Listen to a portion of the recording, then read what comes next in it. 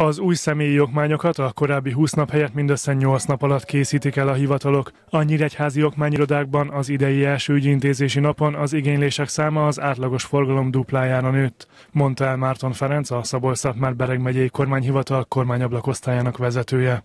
A személyigazolvány ellátásában minden egyes esetben ingyenessé vált, a személyigazolvány kiadása, pótlása, elvesztés, eltűnítás esetén szintén, ugyanígy a lakcímkártyánál is minden egyes esete illetékmentessé vált.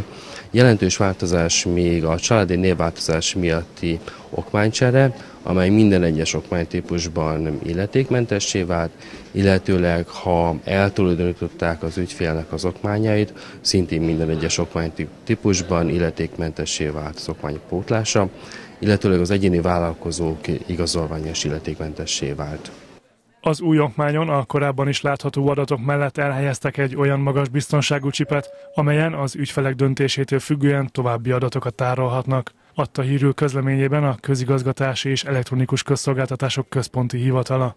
Az elektronikus személyigazolvány egy olyan összetett igazolvány, amely háttérben kapcsolódik az adó és a TB jogosultsággal, tehát hogyha az ügyfelünk akár adóigazgatási ügyben vagy egészségbiztosítási ügyben szeretne bárhol ügyet intézni, nem szükségeltetik adó vagy TB kártya, elektronikus személyigazolványa tudja igazon az ő jogosultságát, akár egészségbiztosítási ellátásra vagy adóügyeinek intézésére.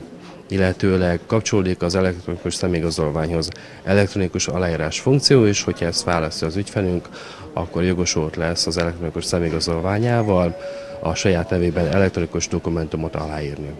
Az elektronikus személyi igazolvány tárolóleményhez kapcsolódó szolgáltatásokat és az ügyintézési lehetőségeket folyamatosan vezetik majd be, áll a közigazgatási és elektronikus közszolgáltatások központi hivatalának közleményében.